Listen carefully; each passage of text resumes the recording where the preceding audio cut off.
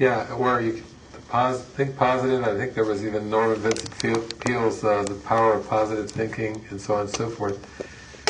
Um, just as a basic stepping stone idea, when people were just starting to get into spirituality, you know, when you talk about the positive, it's it is people's inroads into peace of mind. When they talk about positive thinking, they're talking about peace of mind and joy and love and happiness. You know, live each day in, on a, in a positive attitude, a positive note. So it has a general connotation. Uh, there was a movie called What the Bleep Do We Know, a quantum physics movie, and they had a former theologian on there, Michael Ledwith, who's one of my Facebook friends, and and basically he said most of the time though when when people get into positive thinking, it's just like a, a smear, he called it, over a lot of negativity. So oftentimes when people talk about positive thinking, they talk about affirmations and so forth. And the deeper you go into spirituality, when you go much deeper, you start to realize that that that to use mantras or uh, positive sayings or positive affirmations without getting down underneath at what's going on in consciousness is a bit like like putting uh, sweet icing on a cake of mud. Uh, you know, if we want to use kind of a graphic analogy, so that if you just tasted the top of the cake, it could be quite tasty and sweet. If you actually dug your finger down just a little bit, ugh, you would have a muddy mess on your hands with a little uh, sweet icing mixed in between.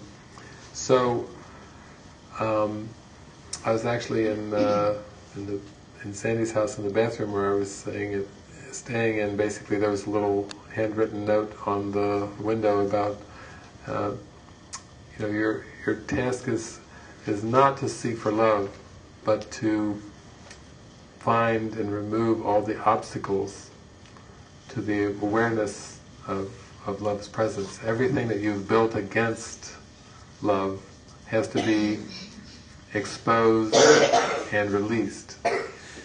And in that sense, you can say that any authentic spiritual path that takes you inward toward the light is more a journey through the darkness to the light. Or what a lot of times in Eastern teachings and spirituality, they'll, they'll call it negation. You basically, instead of affirming all is one, God is love, I am the light, and so on and so forth, it's more of exposing everything that you've built against that state of awareness, which is natural. So it's not like you have to do anything to bring the light in. The light's already in there. It's it's already who you are. The light is lit. It's the veils of, of false beliefs that have been drawn over the light that, that are blocking the light from awareness. So in one sense, even in the East, they have a, a saying called neti neti, not this, not that. It's very much emptying the mind of everything that's that's believed to be real. And you know, the Buddha called that going into the void. Uh, Jesus has a lot of uh, of teachings along the same lines. Uh, probably the most the most prominent one is in lesson 189 of the workbook, you know, where he says, "Simply do this: be still, lay aside all thoughts of what you are, what God is." Uh, you know, he's basically saying, empty your mind. It sounds very Buddhist when you start reading that that paragraph. Hold on to nothing. Do not bring with you one thought the past is taught, one thought before of anything. Forget this world, forget this course, and come with holy empty hands unto your God. It's a beautiful passage of just emptying your mind of all of the false concepts and beliefs that are there. And I remember the first time I read that paragraph, I just felt this deep, my heart chords were just going very strong, like this is really the essence of the teaching. That's where the, you might say the essence of Buddhism and the essence of A Course in Miracles really come together in that sense of emptying the mind. And then you start to see, whereas Buddhism would, you know, advocate a lot of um, a lot of meditation.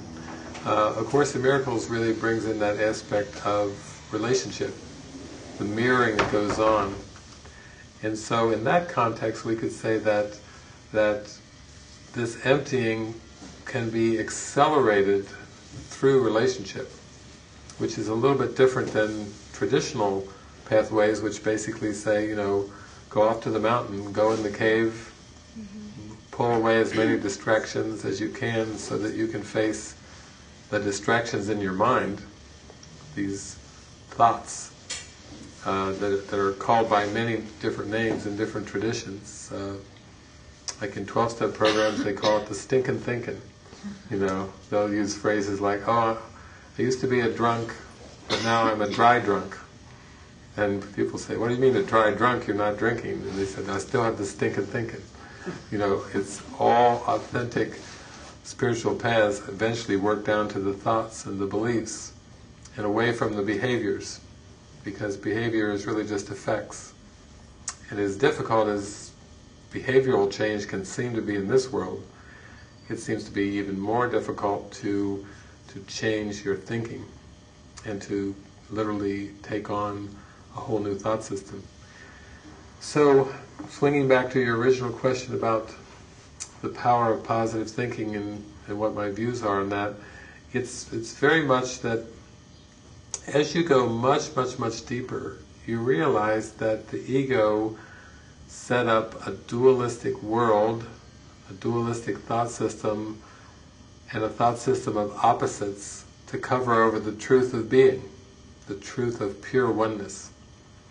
So in that sense, the positive and the negative, the opposites of the world, were set up as a trick and so oftentimes when people just kind of skim the surface of spirituality and they try to put on a happy face and try to, okay, I'm going to think positively, it may seem to work, it may have some general benefits uh, from that effort, but then they usually face like a wall of something that they really weren't prepared for. This like dark unconscious guilt that's under the surface of this positive and the negative. And in that sense, I advocate as you go much deeper, as you really have to empty your mind of the positive and the negative, in that sense. All of the compliments and the criticisms are actually both part of a defense mechanism against the pure truth that's underneath them.